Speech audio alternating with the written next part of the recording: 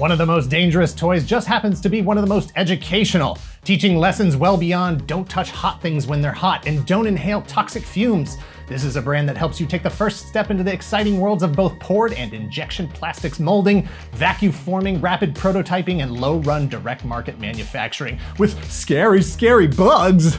Hi, I'm Dan Larson, and this is the history of creepy crawlers.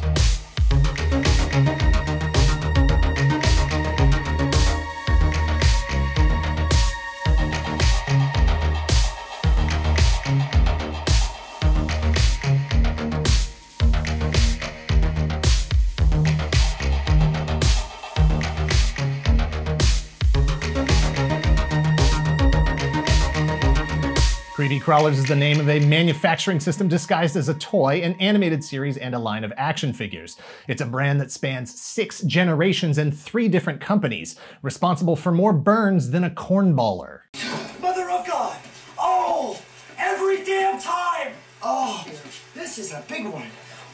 In 1964, Mattel released the Vacuform in an attempt to build up their boys' toys business to go along with the massive success they were having on the girls' side, with Barbie launched in 1959, and also to try to get a piece of the growing market created by Kenner's Easy Bake Oven, released a year earlier in 1963. Mattel's Vacuform utilized a similar sales strategy to Barbie, sell a core unit, the Vacuform machine, and then sell additional components in the form of other accessory packs to extend the life and investment of the initial purchase.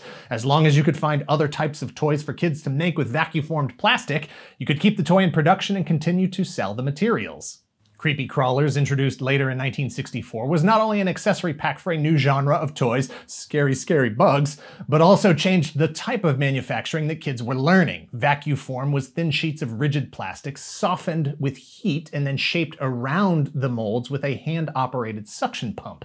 Creepy Crawlers introduced liquid plastic poured into molds that cured using the same heating tray already in the Vacuform hardware. Mattel's Vacuform evolved into the Vacuum Maker, featuring creepy crawlers, and both types of low volume manufacturing. Vacuum Maker evolved into Thing Maker, which eliminated vacuforming, focusing on the poured plastic functionality. The machine itself was half as expensive to produce. It essentially removed the entire second half of the vacuforming production process and still allowed for a multitude of different themed sets to be sold. Same die-cast metal molds, same proprietary plastic goop that was liquid in the tubes but cured or solidified after heating, same 400 degree electric heater hot plate to do that curing. From army figures to flowers to jewelry, the Thing Maker was relabeled and repackaged, but the standout performer, the line that gave all the others a blueprint, was Creepy Crawlers.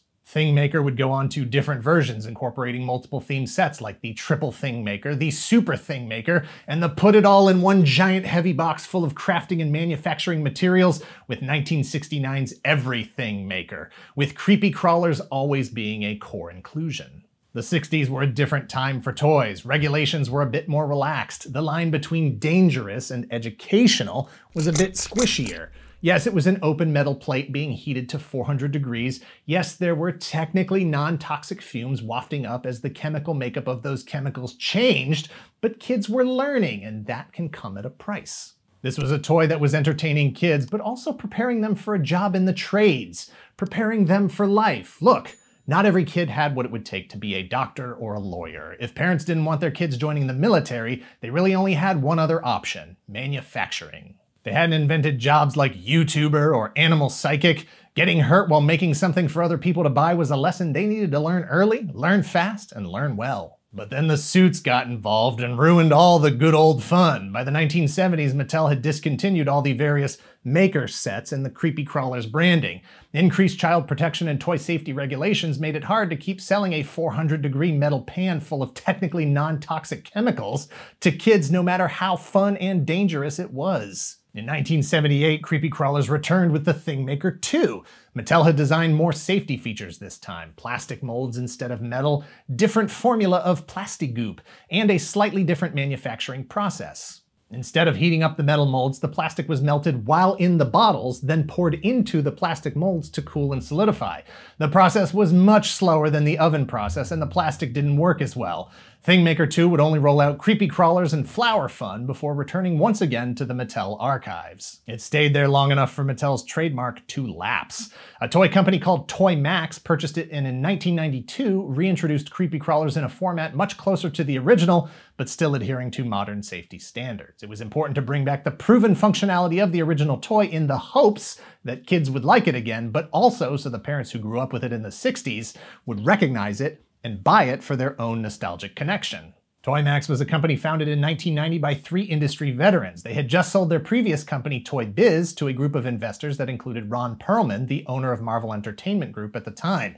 Flush with cash and happy to be out of the licensed character business, they brought back one of their own childhood favorites. Creepy crawlers had to play by the new rules, swapping the 400 degree electric hot plate for a hot light bulb named the Magic Maker heater, similar to the kind that Kenner had used in their Easy Bake ovens for years. The liquid plastic was a slightly new formula that would function more efficiently with the bulb powered system, and appropriate safety features were added. Toymax had already been shown the path to success with creepy crawlers and the Magic Maker oven system. They were able to scoop up multiple recognizable Mattel brand names, including Dolly Maker, Creeple People, and Mini Dragons. They also got back into the licensing game with sets taking advantage of popular characters like Bugs Bunny, Power Rangers, Batman, and Toy Story, but they didn't stop there.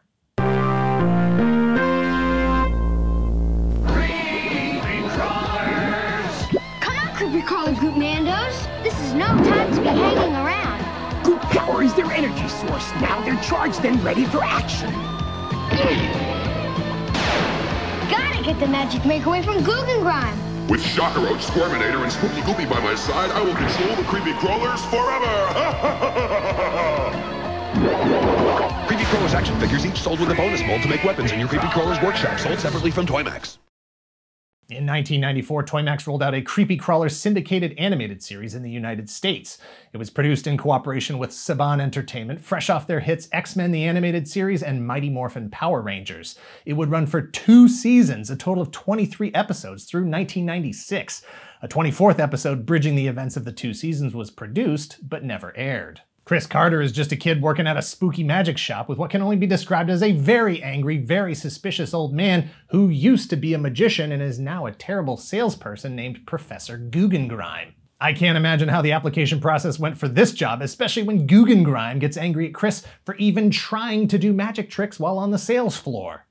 Illusion, Michael. Mm, trick is something a whore does for money. Chris is also a secret engineer. He invents a machine called the Magic Maker to go along with the various other mechanical tricks, excuse me, illusions that the shop has in stock. Professor Guggengrime is disappointed that Chris is spending company time working on something other than selling or cleaning, and also feels like he's being upstaged by Chris's ingenuity. Fate intervenes as Guggengrime just happens to have been tracking the movement of the planets and knows that a once in a millennium event is about to occur where the planets aligned and a new kind of magic briefly manifests. It turns the Magic Maker into a full on life generator, resulting in the birth of three new humanoid creatures that are hybrids of scary, scary bugs and magic tricks. Hocus Locust is a rope trick come to life. Tick Trick Tick, or T3 for short, is a shell game. Volt Jolt is the Magic Maker light bulb itself. Together they are the Goop Mandos, each possessing a Goop power pack in their abdomens. It's a tiny hourglass shaped plastic container full of goop that you can turn over to see the goop flow from one end to the other. In the animated series, the narrative function of the Goop Power Pack is to force the Goop Mandos to rest upside down for a certain amount of time to recharge their powers, and I feel like I've given this more time than it needs. Short version, the Goop Mandos side with Chris, and Professor Guggengrime creates his own gang of Goop-powered minions to create mischief around the city. Chris is constantly trying to stop Guggengrime and get his magic maker back. I'm pretty sure he doesn't work at the magic shop anymore. To go along with the show, Toymax released a series of action figures and vehicles. All your favorite characters from the show are here Chris, Guggengrime, Hocus Locust. Each figure comes with an exclusive mold for making character specific accessories with your Creepy Crawler's Magic Maker device. A playset was shown but never released. And you could also get the Guzuka assault vehicle. Guzuka assault vehicle. Just cut that in. You probably missed the series the first time around. If you did, some episodes were released on VHS, but as of this video, the complete series has never been released on DVD and is not available on any streaming services. Other than a few episodes here on YouTube, it is a mostly forgotten, if not altogether lost series. Toymax would make cosmetic and functional changes to the Creepy Crawlers Magic Maker through the 90s, taking advantage of all the popular licenses like X-Men and Jurassic Park. By the time they started developing their own line of figures for you to make called Mutant Squad, Creepy Crawlers and the Magic Maker had once again run its course on retail shelves, the world's supply of rubber's scary, scary bugs fully replenished. Toymax would take one more stab at a third revival of Creepy Crawlers and Dolly Maker in 2001, just before the entire company was purchased by Jakks Pacific for roughly $55 million in cash and stock. Jakks would continue to produce creepy crawlers, adding more licensed brands to the portfolio, including SpongeBob, Hello Kitty, Pokemon, and scary, scary Star Wars. By 2010, Jakks released a series of Toys R Us exclusive creepy crawlers that utilized a third plastic toy manufacturing process called injection molding. This is the actual process by which figures and Twinkies are made today. The two halves of the mold are pressed together, and then the plastic fills the empty cavity inside. It didn't last long on shelves because it didn't work that great, and I don't know, injection molding is a tough sell for kids in the 2010s. Adults, sure, I follow plenty of indie and bootleg toy makers on Instagram now, today, but kids were all about that Super Mario Galaxy life in 2010. Mattel tried to move things into the future, tried to retake the kids' home manufacturing market by announcing a new Thing Maker in 2016. Even without their flagship brand, the thing that made their home plastics production system so successful back in the 60s, they were going to be on the cutting edge of the new fourth manufacturing technology, 3D printing. A year later, in 2017, they were still in the testing phase, and by March of 2019, Mattel finally admitted that they had canceled the project, but were super bummed that not only did they have to cancel it, but that they had to tell anyone about it. The worst part about bad news in a business is having to actually admit that it's true. In May of 2018, riding that last part of a wave that you can kind of boogie board on if you're really good at balancing while standing up, Paramount Pictures announced that a Creepy Crawlers film is in production. Those are my air quotes, not theirs. Not to be confused with the film called Creepy Crawlers that was released in 2000, sometimes also called They Nest, about a town in Maine overrun by scary, scary bugs. They are unrelated.